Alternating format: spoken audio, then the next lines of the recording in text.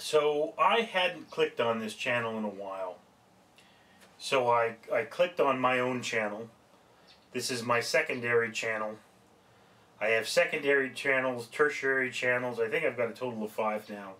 Most I don't use, but this one, this one is the channel that is connected with my Google Plus account, as opposed to having its own Google Plus account. And um, yeah.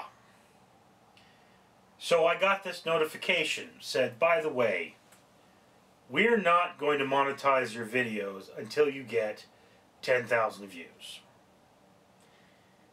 And I was like, that blows. But you know what? I actually have a computer, a T30 uh, ThinkPad, old old T30, that I can turn on and say, yes, do nothing but watch videos, sit in the corner and watch those videos and, and boost my my views. And then I noticed that the views, I believe they update at midnight. Your channel views do. So they're not real time. So it's here's the thing. I could have a viral video. Theoretically, I could have a viral video viraling for a full day, nearly 24 hours, before I get credit. And when you think of this in terms of, like, if, say, Jeremy Jahns, just for example, liked one of my videos and tweeted it out, yes, I could get 10,000 views in that time.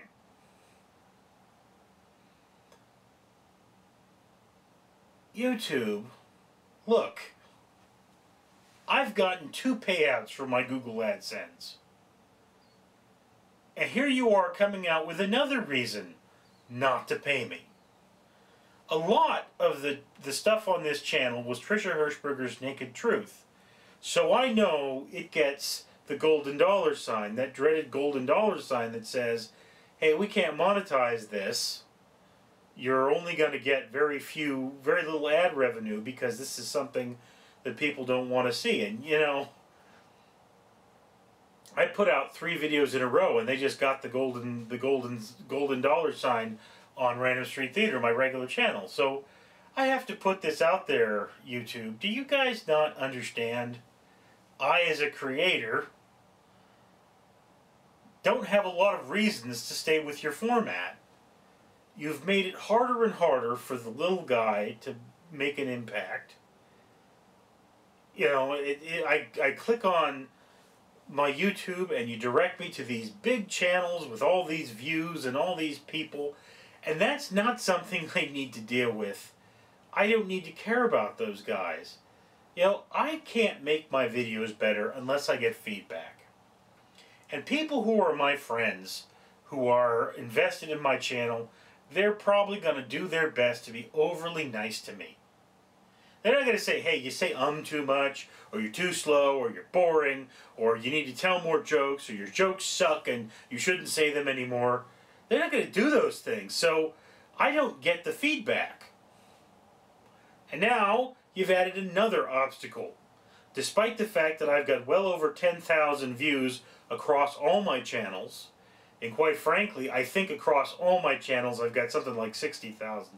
I know on the main channel it's 50,000 views, so that's there. But I mean, this this secondary channel has around 2,000 views, so you know, there's where I am, and I'm going well. You know, so what do I do with this channel? Do I just stop updating it? And obviously that's not true because I'm making a video for it. But this is kind of what I've decided to do. I'm gonna, I'm going to not promote this channel until I hit a hundred, a hundred videos, and then I'm going to going to try to I'm going to go in, in with my other channel and like all those videos. So at least I'll see a big surge in likes. And this is legal. You know, one channel, one of your channels can watch another, but... anyway, I'll probably do a 100 videos video, and then that's like, okay. So at that point, then I know, then I know, yes. Do that thing. Okay. Anyway. So that's where I'm at right now. It's a living, it's not a great one. So I'd like to hear what you think down in the comments below. Do you think people shouldn't get paid for the first 10,000 views on their channel Or do you think YouTube needs to stop putting obstacles between me and getting paid? Mind you, 10,000 views, you're not going to get a check. You need to make at least 100 bucks to get a check. But this just seems like one more thing where it's like, hey, come on, YouTube. Although I will also have to point out, it gets rid of the spammers. People that are uploading video after video after video for no good reason. You know, they, uh, I once saw channels that uploaded like 10,000 videos the first day they were there because they're like, yeah, we just want more of these videos out there and hopefully YouTube will see them. Okay, well, that's that's going to get rid of if you have a minimum of 10,000 views. So there's that.